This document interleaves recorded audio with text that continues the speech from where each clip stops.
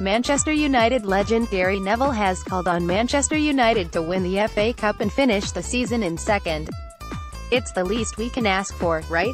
Manchester City are Premier League champions and Liverpool have a shot at reaching the Champions League final.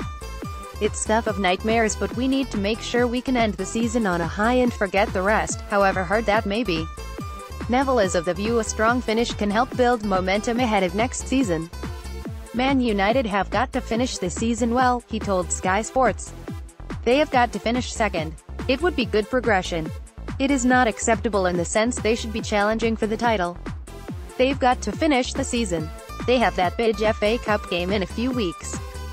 If Man United could finish the season second and win the FA Cup, you would still say that is momentum for Mourinho and Man United. United finished sixth last season so this finishing in the top four is clearly a step in the right direction. Rome wasn't built in